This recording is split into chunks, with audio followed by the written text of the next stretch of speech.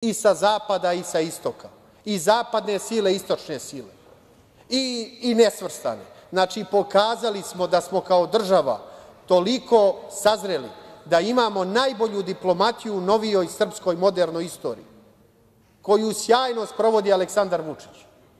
Pružili smo ruku svima.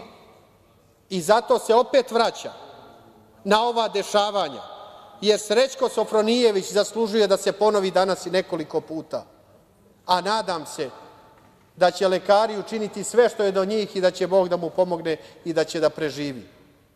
Moramo uvek da podsetimo za šta smo mi, a za šta su oni koji su protiv nas.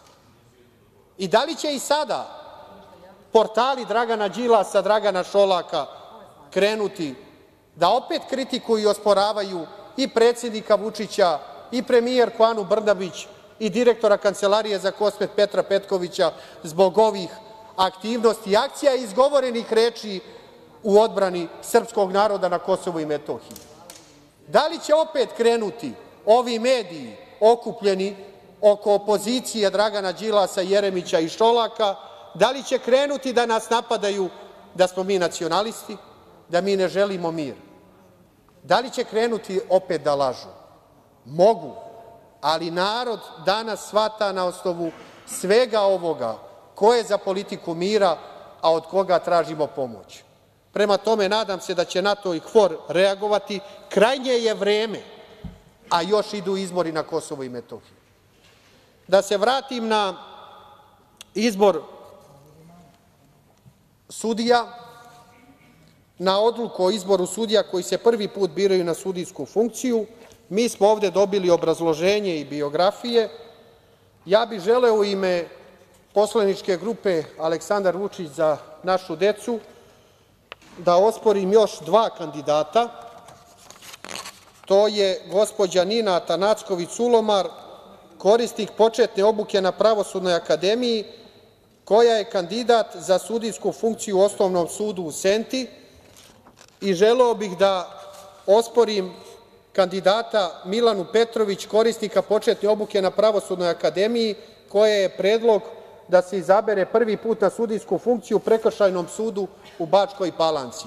Razlog za osporavanje i Nine Atanacković Sulomar i za Milanu Petrović je isti onaj razlog zbog kojih je moj dragi kolega Dejan Kesar osporio predlog ovih drugih kandidata i predlažem da posebno glasamo o njima.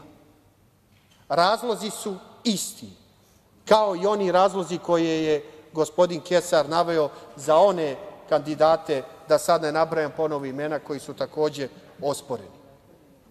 Mi iz Srpske napredne stranke se zalažemo za jako pravosuđe i to smo pokazali, kao što smo imali prilike da vidimo koliko se mi zalažemo za mir i stabilnost, za jaku ekonomiju, za jak zdravstveni sistem, za pomoć svima u regionu, i onima koji su nam do juče bili i protivnici i neprijatelji, nas to ne interesuje, mi pomažemo svima. Isto tako se zalažemo za jake državne institucije u Republici Srbiji, zalažemo se za jak pravosudni sistem i zbog pravde u Srbiji, ali i zbog borbe protiv mafije. Imali smo prilike da vidimo i pre nekoliko dana i obraćanje guvernera Narodne banke Srbije, gospođe Jorgovanke Tabaković, koja je jasno podsetila na neka dešavanja, tj. na nereakciju određenih državnih institucija kada su u pitanju pozajmice Dragana Đilasa. Pridružujem se tom njenom apelu i smatram da treba da se proveri svaka pozajmica Dragana Đilasa i da sve institucije tu treba da reaguju. I ako svi mi polažemo računa pred zakonom i pred narodom, zašto to ne bi i Dragan Đilas? Dakle, vreme je da konačno znamo sve.